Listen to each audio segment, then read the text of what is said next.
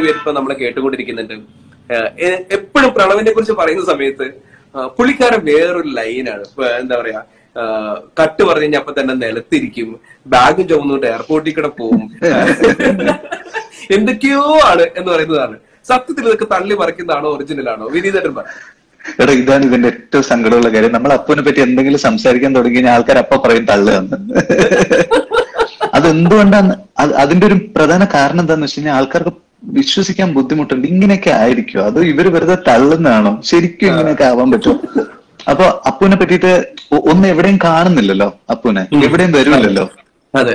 അപ്പോ എന്നാ എവിടെ വെച്ചും കാണാൻ പറ്റുന്ന ഒരാളാ. ഒരു സെലിബ്രിറ്റീനെ പോലെ ജീവിക്കുന്ന ആളുമല്ല. ചിലപ്പോ മാത്രം ഏതെങ്കിലും ഒരു ഗ്രാമത്തിലെ കോരിച്ചൊരിയുന്ന മഴയത്ത് ഒരു ചായക്കട കയറി അവിടെ അപ്പുരിപ്പുണ്ടാവും. അത്ര അൺഅസ്യൂമിങ് ആയിട്ടുള്ള ഒരാളാണ്. പക്ഷെ ആളുകൾക്ക് അപ്പുവിനെ പറ്റിയിട്ട് അറിയാത്തതുകൊണ്ട് നമ്മൾ എന്തെങ്കിലും ഒരു കാര്യം അവനെ പറ്റിയിട്ട് പറഞ്ഞു കഴിഞ്ഞാൽ ഇത് ഇത് തള്ളാന്ന് പറയും. അതുകൊണ്ട് ഞാൻ തള്ളുന്നില്ല. ഞാൻ വന്ന ദിവസം ഞാൻ സെറ്റിൽ വന്ന ദിവസം എനിക്ക് ഓർമ്മയുണ്ട് മേക്കപ്പ് മേക്കപ്പ് ചെയ്തുകൊണ്ടിരിക്കുന്നു അപ്പു. അല്ലേ? അത് അപ്പുവിന്റെ മേക്കപ്പ് മാൻ ഉണ്ണി. ഉണ്ണി ഒരു സീനിൽ അഭിനയിച്ചിട്ടുണ്ടായിരുന്നു. അപ്പൊ ഉണ്ണിക്ക് മേക്കപ്പ് ചെയ്തുകൊണ്ടിരുന്നത് അപ്പുവാണ്.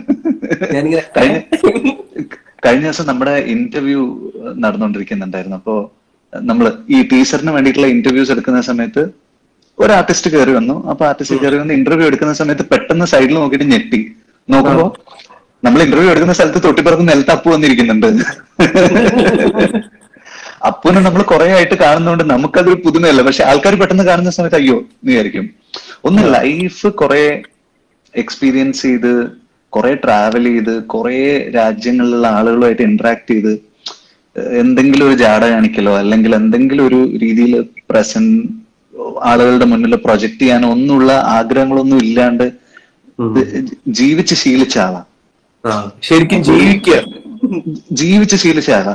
അപ്പൊ അതുകൊണ്ടാണ് അവൻ അങ്ങനെ അതുകൊണ്ട് തന്നെയാണ് നമുക്ക് അവനോട് ഭയങ്കര കൗതുകവും ഇഷ്ടമൊക്കെ തോന്നുന്നത്.